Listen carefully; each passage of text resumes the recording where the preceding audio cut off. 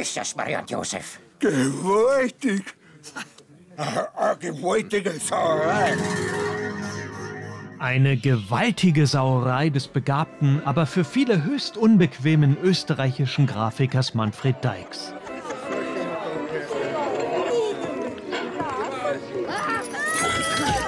Hast du das gesehen? Siegheit Kirchner, wir haben jetzt wieder ein Ortsbild, das der lebendige Beweis dafür ist, dass es noch eine gottbegnadete Kunst gibt, die vom Volk gewollt wird. Bravo, Herr Professor. Es wird in neuem Glanze erstrahlen. Danke, Herr Professor, danke. Ein Loblied.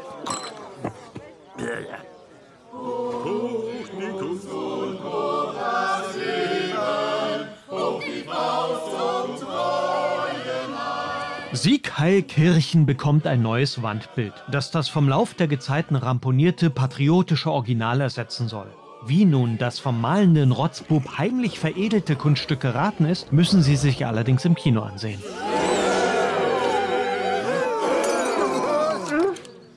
Scheiß mir. Was macht den Reiz aus? Ja, ich glaube, ähm, äh, ich glaube schon einigermaßen raffiniert von ihm ist, dass er eben in so einer Lieblichkeit oder des, des, das Außenrum ist recht lieblich. Ja, also du hast äh, Comic Stripes, da erwartest du was für Kinder. Er hat noch dazu den aquarelligen äh, Zeichenstil gehabt.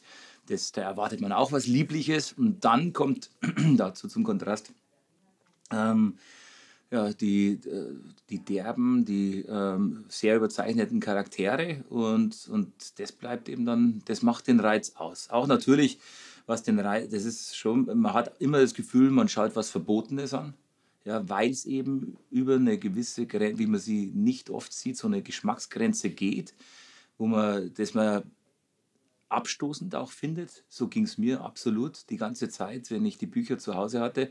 War es immer so, dass ich äh, auch ein bisschen Ekel empfand ja, und das sehr provozierend äh, empfunden habe und mich da wirklich annähern musste.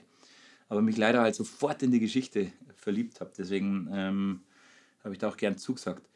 Aber das ist es, glaube ich, dieser Reiz, dass man was Verbotenes anschaut und dann durchaus, also vor allem bei den politischen Sachen und, und bei den Sachen, die, ähm, wo er die Kirche angeprangert hat, da hat man auch immer klar die Sendung kapiert. Es war tatsächlich so. Ein Schuljunge zeichnete einst allerlei Schweinkram, um mit diesen verbotenen Bildchen bei den Mitschülern das Taschengeld aufzubessern. Und dieser Junge hieß Manfred Dykes, der einmal ein ebenso talentierter wie umstrittener Cartoonist werden sollte.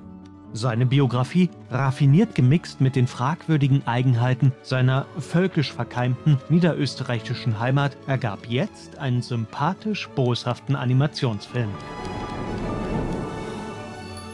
So was Grausliches. Was? Was denn, Frau Bürgermeister? Diese widerliche Anleitung zur Selbstbefleckung, die deine Freude meinem unschuldigen Sohn verscherbelt haben. Der ist schuld an der Gehirnerweichung unserer Puffjugend. Rotzbub. Darf ich?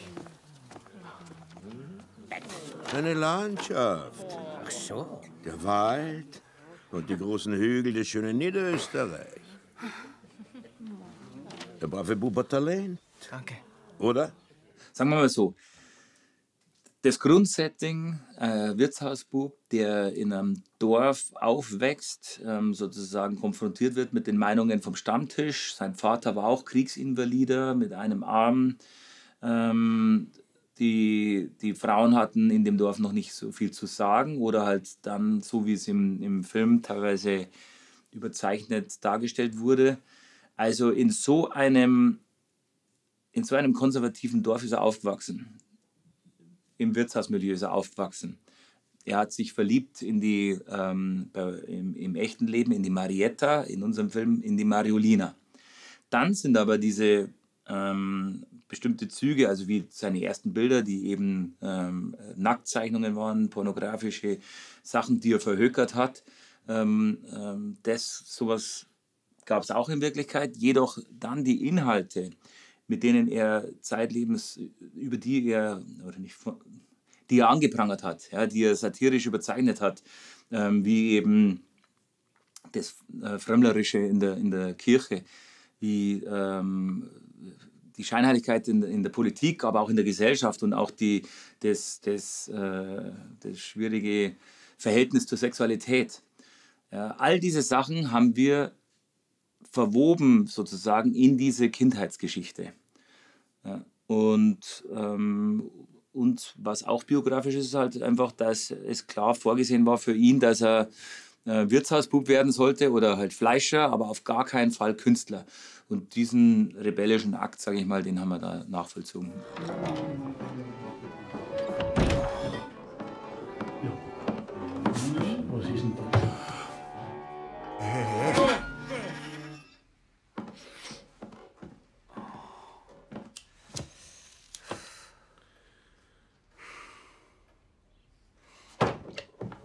Ein Viertel Rot und ein Kracherl.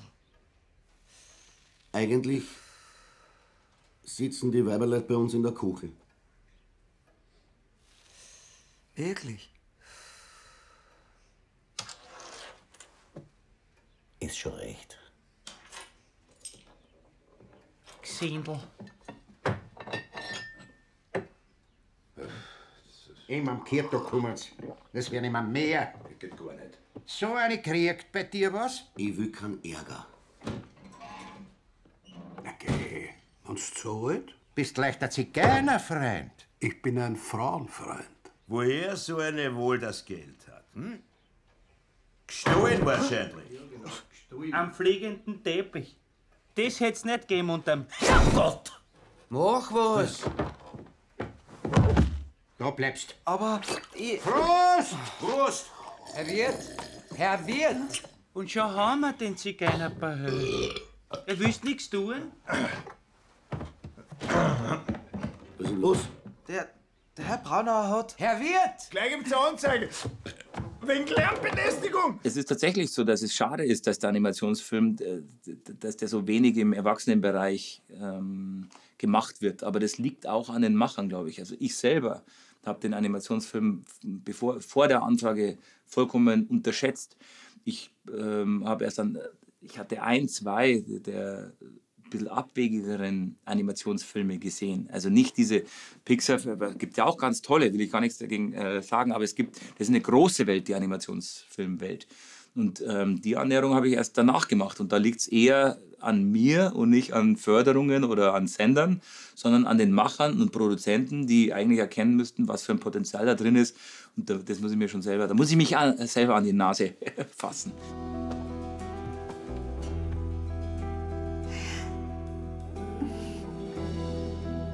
Schenke da.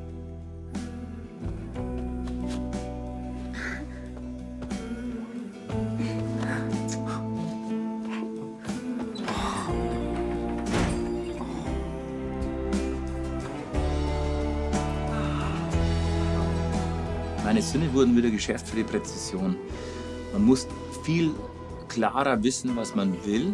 Beim Realfilm ist es so, du hast ein Drehbuch, das ist immer Theorie, das steht auf dem Blatt und dann arbeitest du mit Schauspielern, kommst zu einer Szene und man arbeitet an der und ah, wie, wie stellt der sich, man kriegt Vorschläge geliefert und so.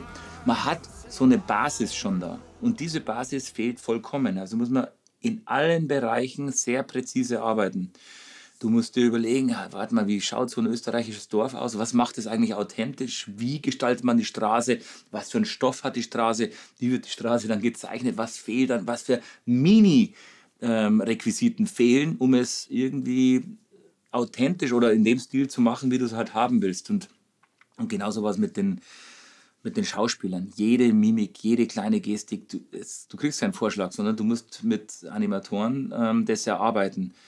Ähm, ich hatte Gott sei Dank einen Co-Regisseur an meiner Seite, Santiago López Jover, der aus einem Animationsfilm kommt und der das sehr gut mi- mich angeleitet hat, wie ich inszenieren auch muss, wie er inszeniert hat und wie das wiederum von unserer Inszenierung in die Figuren, wie das umgesetzt wird. So, und was genau passiert jetzt? Jetzt schauen wir, was passiert. Servus! Servus, Kamerad!